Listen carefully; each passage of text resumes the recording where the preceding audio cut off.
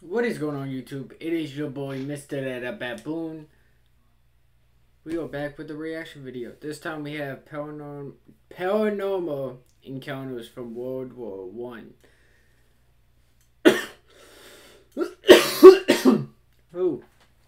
So, if you guys are ready for this and you guys, you know, want to learn about some of this, let's get to it. Make sure you guys like, comment, subscribe, turn on post notifications so you guys never miss a video. Uh, check the description. I will have the link for the video and the link for the channel as well in the description. So, make sure you guys do check that them out. Go subscribe, like, all that good stuff. Uh, anything else? Uh, get your kush, your drink, your snack. Let's get ready to watch this. So, uh, I think that's about it. So, we're just gonna go ahead and uh, get into the reaction. How about that? Okay. Paranormal encounters in World War One. The thousand yard stare, the blank, emotionless expression soldiers displayed after experiencing the horrors of war, can be seen in countless faces in photographs from World War I. Detached and emotionally distant from reality, soldiers appear to be staring off into the distance, looking out into another world. Psychologists explain this phenomenon as a way trauma victims allow their brain to detach from their horrendous surroundings and cope with the stresses in their environment. Shell shock, another name for men showcasing these symptoms of confusion, fatigue, and impaired sight or hearing abilities could render even the strongest person disheveled and helpless. It is no surprise then that these same battle-weary soldiers, with minds full of the horrors of war, claimed to see ghosts, ghouls, and even aliens in the dark recesses of battlefields. Today, we would say that these men were suffering from a stress reaction to constant bombardment, death, and chaos. However, at the time, shell shock and the thousand yard stare were seen as signs of cowardice and lack of moral fiber. Therefore, many soldiers did not receive the treatment they desperately needed to heal their ailing minds. In examining the paranormal encounters from the front lines of World War I, it is best to remember how broken and panicked the minds of the men who reported them were. Wild men slash ghouls.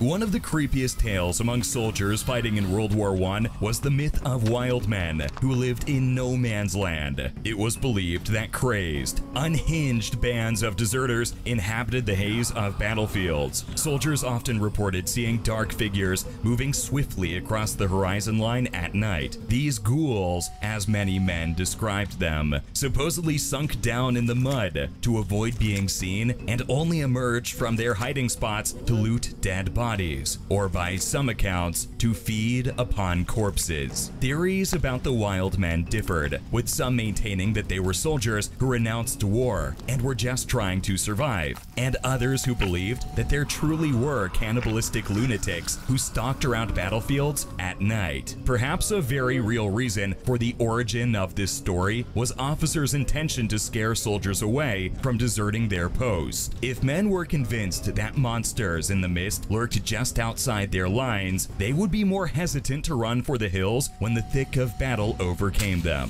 What doesn't help the tale's believability is that the earliest record of the story came from a 1920 memoir, only becoming a sensation well after the war had ended. Red Okay, Baron no and the UFO. Famed German fighter pilot Baron Manfred von See, we know who he is. Reacted to uh, about the Red Baron uh, probably maybe a month, maybe a little bit over a month ago now.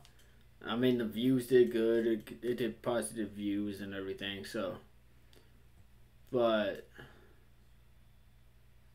I never heard anything about like a UFO in that video. Von Richthofen, also known as the Red Baron, is mostly known for his stunning accomplishments against Allied aircraft and universally recognized flying capability. I have something for you. Okay. However, he is also known for possibly shooting down a UFO in 1917 Huh? in a Fokker triplane. Fellow German pilot Peter Waitzrik recalls how he and the Red Baron came across an aircraft like an upside down saucer during an early morning mission over Belgium and immediately opened fire on it. The Red Baron hit the unusual looking aircraft and watched as it violently crashed through the trees and hit the ground below.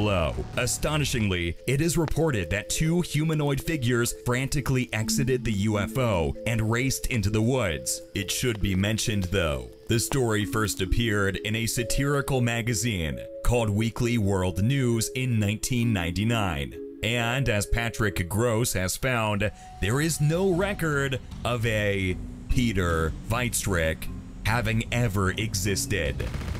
Moreover, the Fokker triplane the Red Baron was said to have used did not exist yet. Richthofen was known to have been using his deadly Albatros D3 at that time instead. The Valkyrie. Shit. First spotted by Lieutenant Frederick Ardsley, flying a patrol route in northern France when he saw an identical Scout Experimental 5 biplane next to him. The Valkyrie was a female pilot with long golden hair. According to Ardsley, she removed her goggles, let out a piercing laugh, and stared at him with cornflower blue eyes before blowing him kisses and performing a can-can dance on the edge of her cockpit. Ardsley attempted to keep up with her, but her abilities were too great and she easily What? outmaneuvered him. At one point, the Valkyrie's aircraft, which featured a golden symbol for Venus on the fuselage, climbed into a bank of clouds at an altitude of 20,000 feet, and Ardsley was forced to make a controlled dive back down because his plane stalled. The legend was catapulted into the press when German pilot Albert Roll claimed that he had been shot down by a red-nosed SE-5 biplane that was flown by a woman with blonde hair. Soon, many other German pilots claimed to have seen a ferocious female pilot who hunted the skies with unparalleled skills. However, Arch Whitehouse, the World War I veteran and aviation novelist, had a different take. Whitehouse believed that the Valkyrie myth began as a joke between young pilots who were trying to lighten up the dreariness of war. Supposedly, these pilots decided to put on a theatrical performance at Christmas for a squadron party, and some were forced to dress up as women for the play. Jumping into the cockpits of their biplanes, the men dressed as women got quite a laugh from their comrades, and the enduring image of a bombshell blonde piloting an aircraft began. According to the historian Nigel Watson, however, there's no evidence of Ardsley having existed either. Further, the lieutenant is said to have been in the 49th Squadron, which did not use SE-5 biplanes. Ghost at Ypres. On a December Shit. night in 1915, near Ypres in Belgium, a man named William Speight was enjoying another bitterly cold night in the trenches when the most unexpected thing happened to him. Sitting down by a faint candlelight, Speight felt the presence of another in his company. Turning, Speight was horrified to find the ghost of his friend, who he had seen die on the battlefield. The apparition of his friend said oh, nothing shit. to him and disappeared just as quickly as he had been standing in front of Speight. The next night, Speight asked for another officer to sit with him in case the ghost of his friend reappeared. To his surprise, the ghost reappeared, only this time with a message for him. Motionless, it pointed to a spot on the floor before vanishing once again. Not knowing what to make of this, Speight ordered some of his men to dig a hole where the ghost had pointed. Miraculously, the soldiers found a tunnel had been dug under them and rigged with massive amounts of explosives. The bombs were quickly defused, and the soldiers thanked the Spectre who had saved them. This incident was first described in a 1919 war-themed short story competition for Pearson's magazine. It gained credibility when Sir Arthur Conan Doyle referenced it in his History of Spiritualism collection. Cossacks in Britain. Civil Bro, that is crazy. Like, thinking about that, like, think, like, really think about that. That ghost, if that did happen, that ghost right there, his best friend's ghost, saved his life. Think about that. Aliens, not just soldiers, were also capable of experiencing paranormal encounters. One of the most interesting records of mass hysteria comes from the persistent myth among British civilians that millions of Cossacks from the Russian army were on their way to Britain. First, in late August 1914, local newspapers reported sightings of fierce-looking men with beards and fur hats traveling on trains through Britain. Then, the stories gained traction, and international newspapers were soon detailing how almost a million Russian soldiers were passing through Britain on their way to France. People everywhere were claiming to find traces of the Russians. Stories of chocolate machines jammed up by rubles, warriors marching toward London Bridge Station, and cries for vodka from train cars were soon on everyone's lips. When British intelligence services learned the rumors were false, they did not censor them, which aided the Allies as a cautious German command committed two divisions to guard the Belgian coast against the supposed Cossack reinforcement. Save big and win on the Shoe Carnival Holiday Savings Express with styles from Doc Martens, Nike,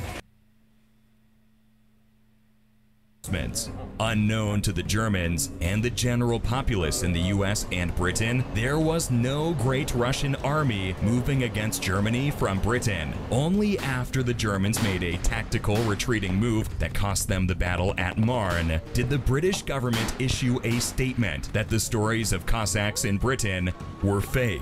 However, by this time, the story had gotten so big that many continued to believe it. In reality, there were indeed massive amounts of soldiers traveling from the north of Britain to the southern ports, but they were British reservists. These battalions had been given orders to pull the shades down on their train carriages and travel hmm. at night to keep their whereabouts a secret. Furthering the myth, some battalions of the British force spoke thick dialects, such as Gaelic, which many mistook as Russian.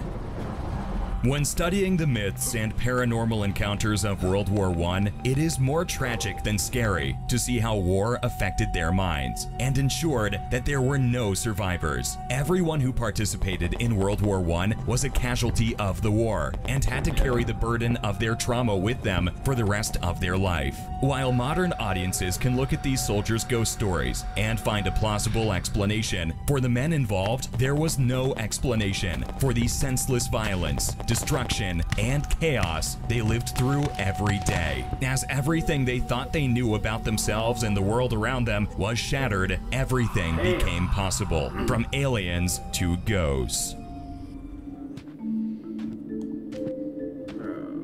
that the animation was really good. Telling about everything was really good too.